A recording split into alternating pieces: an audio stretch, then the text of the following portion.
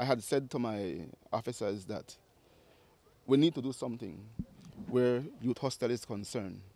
And uh, I had tasked Mr. Vidal and Mr. Dawson to go and meet with the administrators of the youth hostel to see what can be done to prevent this constant escape.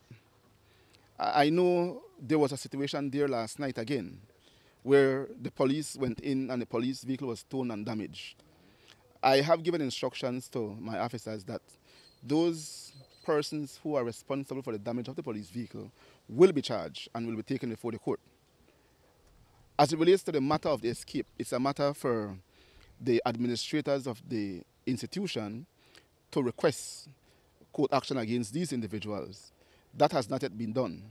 I am hoping that it will be done. Last night, we recaptured another six who had escaped.